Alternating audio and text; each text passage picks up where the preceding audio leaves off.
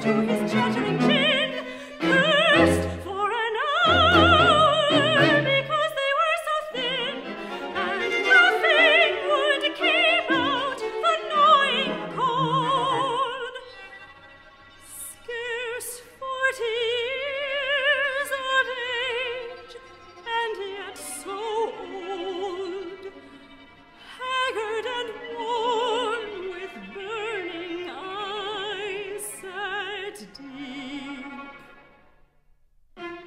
until at last he could.